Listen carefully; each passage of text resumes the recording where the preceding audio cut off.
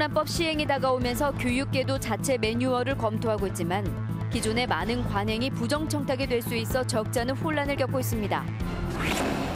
경주에서 발생한 지진으로 한옥의 피해가 갈수록 커지고 있는 가운데 한옥의 내진 방안을 서두르자는 목소리가 높아지고 있습니다. 쌀가 폭락에 대한 우려가 높아지면서 농림부와 당정청이 잇따라 수급 안정 대책을 검토하고 있지만 정작 농민단체들의 반응은 회의적입니다. 전주시가 정책 결정 과정에서 전문가와 시민들의 의견을 모으겠다며 다울마당을 운영하고 있지만 안팎의 평가가 극명하게 엇갈리고 있습니다. 교통법규 위반 차량을 골라 일부러 사고를 낸 뒤 보험금을 가로챈 10대 일당이 경찰에 붙잡혔습니다. 범행 수법도 성인 뺨칠 정도로 치밀했습니다. 여러분 안녕하십니까? JTV 8시 뉴스입니다. 어, 김영란법 시행이 다가오면서 교육계도 자체적으로 매뉴얼을 마련하고 있습니다. 하지만 관행적으로 해온 각종 행위가 부정청탁으로 간주될 수 있어 교원은 물론 학부모까지 혼란스러워하고 있습니다. 조창현 기자입니다. 요즘 초등학교 학부모들은 어떤 행위가 부정청탁인지에 대해 혼란스럽습니다. 학교를 빈손으로 찾아가면 예의가 아니라는 생각에 무심코 들고 갔던 음료수도 법에 위배될 소지가 있습니다. 또 선생님에게 수천 원짜리 SNS 커피 쿠폰을 선물하는 것조차 김영란법이 시행되면 불법으로 간주됩니다. 언론에서 보니까 그 학교 애들 선생님한테 뭐 5천 원짜리 커피 쿠폰도 안 되고 또 선생님하고 뭐 만 원짜리 식사하는 것도 안 된다고 하니까 학부모 입장에서는 어떻게 해야 될지 좀 난감하기도 하고 뭐 당황스럽기도 하고 그러죠. 학생과 교수 간의 친밀도가 높고 성적과 취업, 논문 심사 등으로 접촉이 많은 대학은 비상에 걸렸습니다. 4학년 2학기에 재학 중인 학생들이 취업을 하면 리포트 등으로 출석 점수를 인정해준 관행도 법이 시행되면 불법입니다. 석 박사 논문 심사 과정에서 심사위원들에게 관행적으로 지급한 거마비도 논문 통과를 위한 금품 수수에 해당됩니다. 취업률에 문제도 걸릴거요 청탁의 개념이 아닌 관행적으로 이루어진 것들을 어떻게 처리할지 참 난감하고요. 자체 매뉴얼 마련도 쉽지 않아 정말 고민입니다. 김영란 법에서는 같은 사람이 두 번의 같은 청탁을 하면 신고하도록 돼 있어 교수가 학생을 신고하는 최악의 상황도 벌어질 수 있습니다. 하지만 시간 강사와 겸임 교원, 명예 교수 등은 학생을 직접 가르치고 성적도 주지만 법 적용에는 제외돼 형평성 문제도 제기되고 있어 앞으로 법 시행 과정에서 여러 가지 논란이 예상됩니다. JTB 뉴스 조창현입니다. 어, 경주에서 발생한 지진으로 건축물 가운데 한옥의 피해가 갈수록 커지고 있습니다. 아, 전북에는 한옥을 선호하는 주민들이 많기 때문에 한옥의 내진 대책을 서둘러야 된다는 목소리가 커지고 있습니다. 아, 김철 기자가 보도합니다. 지진 때문에 경주에서 파손된 한옥은 2,000채가 넘습니다. 전통 건축 양식을 따른 한옥의 경우 지붕에 얹은 많은 흙과 기와가 무거워 건물이 흔들리면 쉽게 기와가 떨어집니다. 전주 한옥마을도 크게 다르지 않습니다. 700채가 넘는 한옥 가운데 내진 설계가 반영된 한옥 건물은 단 한 채도 없습니다. 건축법 시행령이 연면적 1000제곱미터 이상이거나 3층 이상의 건축물만 내진 설계를 하도록 규정되어 있어 대부분의 단층인 한옥은 내진 설계 의무 대상에서 빠졌습니다. 기존의 한옥을 증개축하거나 새롭게 한옥을 짓는 과정에서 내진 설계를 의무화하자는 주장이 있지만 이마저도 쉽지 않습니다. 한옥의 특성상 내진 설계가 어렵고 그 비용도 양옥보다 훨씬 비싸기 때문입니다. 전문가들은 기와의 무게를 가볍게 하거나 기와를 구리선으로 고정하기 그리고 기와에 구멍을 내 못을 박는 방법을 대안으로 제시합니다. 기와가 일반적으로 그 황토 위에다 고르기 위해서 그대로 나란히 뒀기 때문에 이번에 지진에서 그런 피해를 본 것 같습니다. 그런데 그런 부분들은 그 기와에 촉을 만들어 놓던가 칩을 만들어 넣어서 고정, 부분적으로 고정시키는 그런 방법이 대안이 될 수도 있겠습니다. 전주 한옥마을에 이어 익산시는 금마면에 집단으로 한옥지구를 만들고 있습니다. 대규모 한옥지구를 조성하는 과정에서 지진에 취약한 한옥의 내진을 강화하는 게 시급한 작업으로 떠올랐습니다. JTB 뉴스 김철우입니다. 어, 지난 12일 이후 경주에서 잇따라 발생한 지진으로 익산과 김제에서 건물에 금이 가는 피해가 발생했지만 보상은 힘들 것으로 보입니다. 국민안전처의 자연재난 조사와 복구계획 수립 지침은 건물이 완전히 부서지거나 반파된 주택에 복구비의 일부를 지원하도록 했습니다. 이에 따라 건물 벽에 금이 가거나 한옥에 기왓장이 떨어질 경우 보상을 받을 수 없기 때문에 지진에 따른 피해 보상 범위를 확대해야 할 것으로 보입니다. 쌀값 폭락에 대한 우려가 높아지면서 정부가 수급 안정 대책에 대한 방향을 제시했습니다. 당정청도 수매를 확대해 시장 격리 물량을 늘리겠다는 뜻을 밝혔는데 정작 농민단체들의 반응은 회의적입니다. 이승환 기자의 보도입니다. 정부의 쌀 수급 안정 대책 방향 가운데 전라북도와 직접 관련 있는 대목은 수매 물량 배정 시 재배 면적을 반영하겠다는 겁니다. 전라북도의 재배 면적은 전국의 15.6%로 세 번째지만 지난해 배정된 물량은 14%로 다섯 번째에 그쳤습니다. 농림부는 올해부터 물량 배정에 재배 면적을 10% 반영하고 내후년에는 30%까지 늘리기로 해서 돈의 물량이 다소 늘어날 전망입니다. 농림부는 또 농협과 함께 미국 종합처리장 벼 매입 자금으로 2조 5천억 원을 지원하고 2, 3년 묵은 쌀은 가공용이나 사료용으로 할인 판매할 계획입니다. 하지만 쌀값이 계속 하락하는 상황에서 미국 처리장들이 얼마나 자금을 가져다 쓸지 의문이고 나머지 방안도 대부분 해마다 되풀이되어 온 것들입니다. 쌀 소비량이 갈수록 줄어들고 있는 상황에서 가장 근본적인 대책은 생산량 자체를 줄이는 건데 이게 또 생각만큼 쉽지 않습니다. 지난해 전국의 재배 면적이 79만 9천 헥타르에서 2만 헥타르 줄었지만 풍작으로 생산량은 오히려 더 늘어날 상황. 정부는 생산 조정제를 통해서 6만 8천 헥타르를 더 줄인다는 계획이지만 이마저도 예산 확보에 어려움을 겪고 있습니다. 오늘 열린 당정청 회의에서 시장 격리를 위해 수매를 확대하기로 한 건 그나마 다행입니다. 통계청에 올해 벼 예상 수확량이 나오는 10월 한 14일이나 15일께 구체적인 내용을 담은 수확기 쌀 수급 안정 대책을 발표할 계획으로 하지만 농민단체들은 격리 물량도 최소한 100만 톤은 되어야 하고 그것도 수확기에 서둘러 확정하지 않고서는 시장을 안정시킬 수 없다고 지적합니다. 조기에 100만 톤 이상의 수매 계획을 좀 발표해야 뒷북이 되지 않는 그런 정책이 될 것 같아요. 작년, 재작년 돈은 쓰고 효과는 보지 못한 그런 상황이었었거든요. 농민단체들은 내일 서울 대학로에서 전국 농민대회를 여는 등 쌀값 안정 대책에 대한 대정부 압박 수위를 높여나갈 예정입니다. JTB 뉴스 이승환입니다. 국민의당 이용호 의원이 쌀값 폭락에 따른 정부의 대책을 촉구했습니다.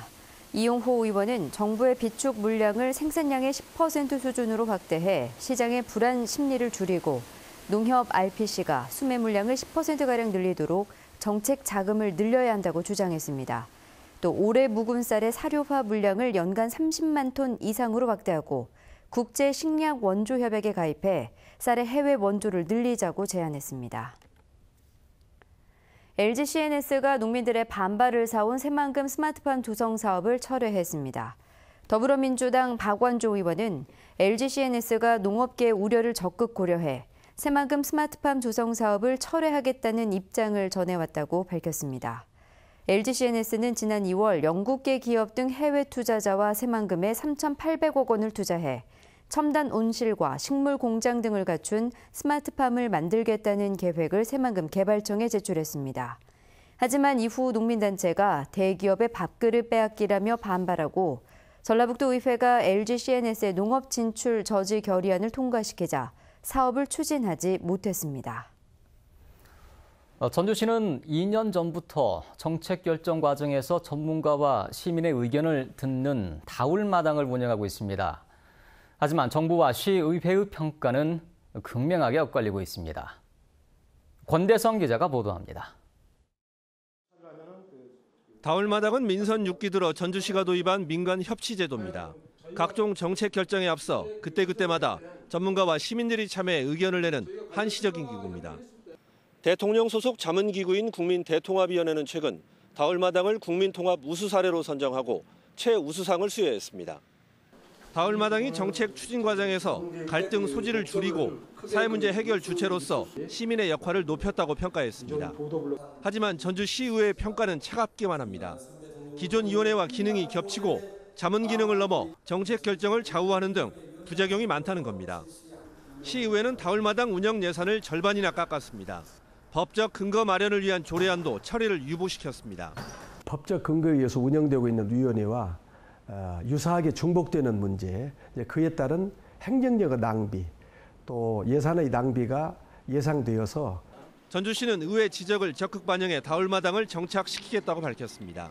기존의 위원회하고 중복되는 문제라든가 지나친 권한을 행사하는 부분에 대해서는 저희가 충분히 조항에 담고 다울마당이 잘 정착될 수 있도록 노력을 하겠습니다. 안팎의 평가가 엇갈리는 다울마당은 지난 2년간 31개가 운영됐고 300명이 넘는 전문가와 시민이 참여했습니다. JTB 뉴스 권대성입니다. 어, 전라북도 경제통상진흥원과 JTB 전주방송이 주최한 스타 소상공인 공개 오디션이 오늘 전북도청에서 열렸습니다. 오늘 행사에선 예선을 거친 8개 업체 가운데 농업법인 맑은샘 자연농원과 유니캠프, 영국빵집 등 3개 업체가 스타 소상공인으로 선정됐습니다. 이들 업체는 사업비로 최고 2천만 원의 시상금을 받고 경영자금을 저금리로 지원받게 됩니다. 스타 소상공인 공개 오디션 진행 과정은 오는 29일 오후 6시 20분에 JTV 전주방송을 통해 방송됩니다. 전북 혁신도시 활성화를 위한 대토론회가 오늘 농촌진흥청에서 열렸습니다. 주제 발표자들은 기금운용본부 이전의 효과를 높이기 위해 전북 금융타운 설립에 앞장서고 혁신도시 공공기관과 지역의 상생 방안을 찾는 데 힘쓰자고 제안했습니다. 또한 전북을 농생명 중심도시로 만들기 위해 혁신도시의 농업 관련 기관을 활용하자는 의견도 나왔습니다. 교통법규를 위반하는 차량을 골라 일부러 사고를 낸 뒤 보험금을 가로챈 일당이 경찰에 붙잡혔습니다. 범행에 가담한 이들은 모두 10대였는데 범행 수법은 어른 뺨칠 정도로 치밀했습니다. 하원우 기자입니다. 전북 도청 앞에 일방통행 도로입니다. 차량을 보고 속도를 줄일 법도 한데 거꾸로 진행하는 승용차를 그대로 들이받습니다. 네, 저희가 이제 일방통행인지 모르고 이제 차 주행을 하는데 분명히 상대방이 저희 차를 본 것 같은데 그냥 그대로 와서 그냥 들이받더라고요. 역주행을 한 운전자는 꼼짝없이 가해자로 몰려 900여만 원의 보험금을 물어줬습니다. 하지만 알고 보니 보험금을 노린 고의 교통사고였습니다. 범행에 가담한 피의자들은 모두 10대였지만 범행 수법은 어른 못지않게 치밀했습니다. 운전자의 시야를 가리기 위해 회전 구간에 미리 차량을 세워두고 역주행하는 차량이 오면 대기하고 있던 차량에 출발 신호를 보냈습니다. 지난 3월부터 6차례에 걸쳐 보험금 2,400만 원을 받아 대부분 인터넷 도박 자금으로 썼습니다. 더 많은 보험금을 타내기 위해 학교 후배 등을 차에 태우기도 했습니다. 너 그냥 차에만 타 있어라. 그래서 어떻게 하는 건데요? 그랬더니 그냥 있으면 안 된다. 차에만 타 있어라.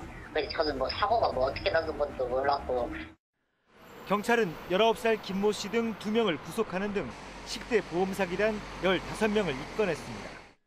그 고의 사고가 의심이 되면 경찰에 신고를 해 주시면 어, 현장 출동해서 CCTV, 블랙박스 영상 등을 명확하게 분석해서 범죄 혐의점에 있으면 철저히 수사를 해드리겠습니다. 쉽게 돈을 벌 수 있다는 그릇된 인식 때문에 보험 사기 범죄가 10대들까지 확산되고 있습니다. JTB 뉴스 하원호입니다.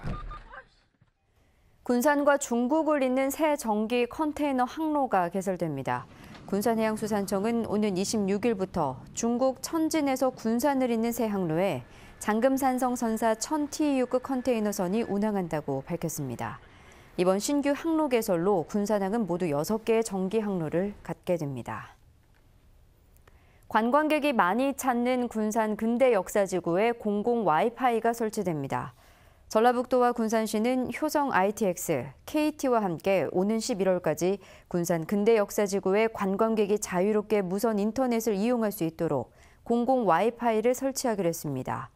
전라북도는 앞으로 14개 시군 대표 관광지에 차례로 공공 와이파이를 설치해 관광객에게 편의와 맞춤형 정보를 제공하기로 했습니다. 전북의 당뇨병 환자 증가율이 다른 지역에 비해 높은 것으로 나타났습니다. 국민건강보험공단에 따르면 지난 5년간 전북의 당뇨병 환자 증가율은 18.9%로 전국 17개 시도에서 전남과 경북에 이어 세 번째로 높았습니다. 국민건강보험공단은 서구화된 식생활로 당뇨병 환자가 급증하고 있다며 당뇨병 예방과 관리가 시급하다고 밝혔습니다. 10년 전 장기 이식을 받은 50대가 뇌사에 빠지자 장기를 기증한 뒤 세상을 떠났습니다. 전북대 병원은 전주에 사는 50살 성백춘 씨가 지난 4일 불의의 사고로 쓰러져 뇌사 판정을 받자 간과 각막 두 개를 기증한 뒤 숨졌다고 밝혔습니다.